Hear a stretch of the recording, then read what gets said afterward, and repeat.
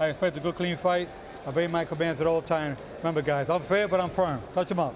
Suelta a los dos. I think take his time, guys. We asked him yesterday if he was going to be real physical because he's so much bigger, and he said no. That's not his way. That's Right. not his style. He's not going to force his way to be that way. Unless it's there, right? But look at the size differential. Yeah, this that- this is, does look like three weight divisions. I mean, you know, the height, the reach, and he's got height and reach over most 115 pounders uh, that he faces that are legitimately in that division. He's working with a new trainer, Robert Garcia, has been added to his corner, who has worked with him and been uh, in spots at his training and has been in touch with them over the phone. So Robert Garcia, a very fine trainer and a former world champion, uh, trying to add some dimensions to Donaire. Oh, big right hand. Air, big right hand. We see Vargas in retreat. Vargas, as Al had mentioned earlier, not your typical Mexican brawler, slugger. He will keep distance. He's definitely a boxer, puncher. And says quickness is the key. He's got to fight fast and make him count. He's given up. Look at the reach. It's so apparent in the height. So his dilemma is we've talked about how to do damage. If he gets inside, does he stay inside if he's not a big puncher?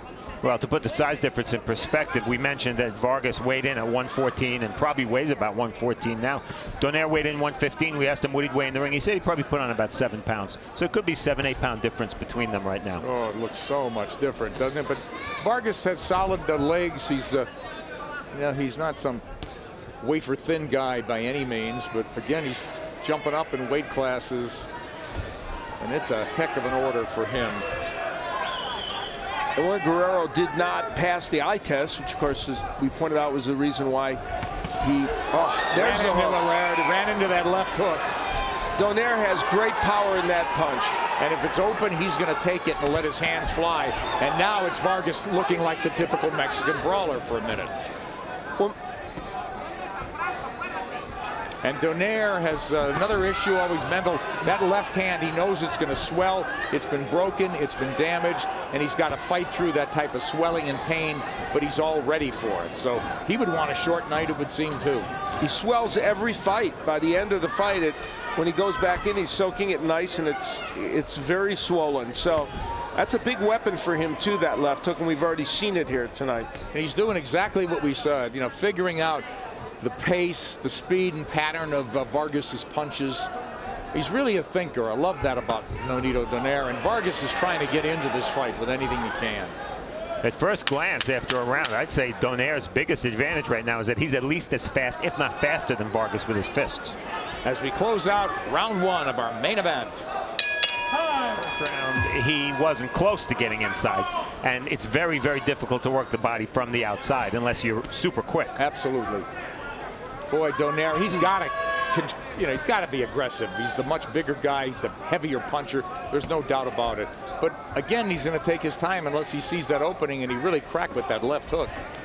Well, when Nonito Donaire is at his best, he's being a precise fighter. He's the very definition of a boxer puncher because he has all the boxing skills and he has power to be a puncher. He does. Both hands, too, In, huh, in his last fight against Rafael Concepcion, after he had battered Concepcion over the first four or five rounds, Concepcion was truly a very a bigger man. All of a sudden, Donaire couldn't put him out, had hand troubles, and then Concepcion came back. That was a nice quick move from Vargas with the overhand right to even land because he's been short with his jab all night.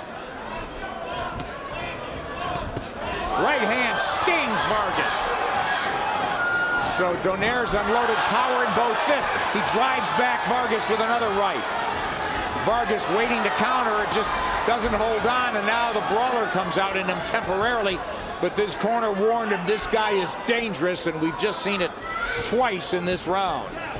Big shots from Nonito Donaire in red.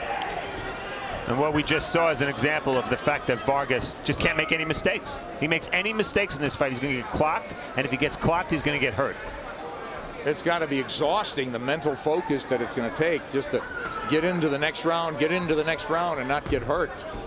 Vargas tries to land the jab, and uh, Donaire with looking for that uppercut too. He's got every punch in the arsenal. Jab, tried the right to the body, and tried to finish with that left hook. But Vargas is very quick. Well, Vargas, we, we need to point out at his normal weight class, which is probably 108. I think it's probably the place he should be. He went down to 105 for a championship opportunity. He's hurt now. In his weight class, he's a very good fighter and was ready to fight for the title. But this is a lot to undertake against a guy who's too big for most 115 pounders. It almost seems as if as long as when Donaire could find this guy and land flush, it could be over. Oh, yeah. I don't like the fact that Vargas is now boxing with his mouth open. Mm -hmm.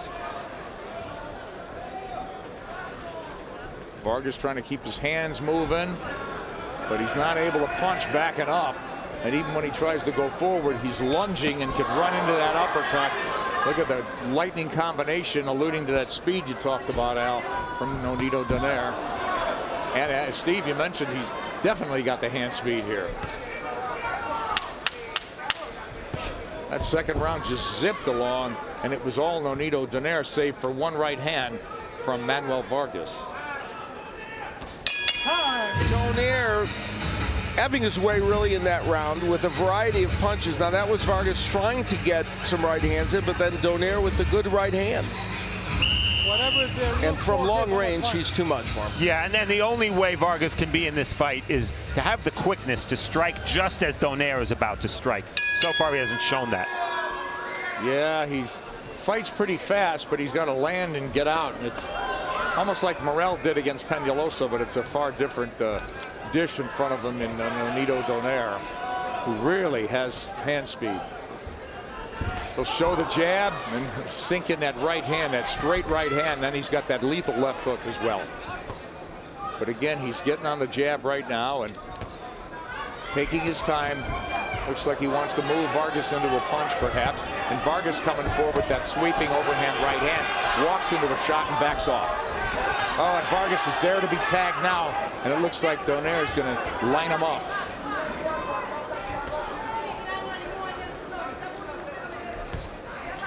Donaire's jab is always an important weapon for him. Even when he doesn't land it, it's such a good rangefinder for the right hand. Sometimes he doesn't throw it enough. Man, Vargas is so elusive. Donaire missed with those two power shots. But you're right, he doesn't throw it enough, Al, it seems.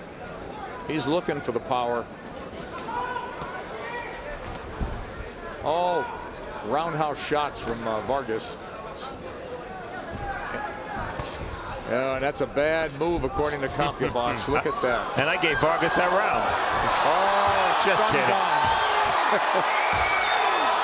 Cuatro, cinco, seis, siete, ocho, nueve. There'll be no getting up. And Nonito Donaire with a dynamic, explosive end to this fight. Uh, Donaire had landed good power punches a straight right hand. Some, and it was the uppercut, the left uppercut that did the big damage by Donaire. He's got power net left. Yeah, a little bit of a delayed reaction. The two right hands set it up, and then it was as if Vargas said, hey, something tells me I can't handle this. that left uppercut was beautiful. It also shows the diversity of attack of Nonito Donaire. We think of him as a left hooker. Al mentioned he has a great jab, which he does. Nonito Donaire. And Nonito Donaire. Evening ending power display there.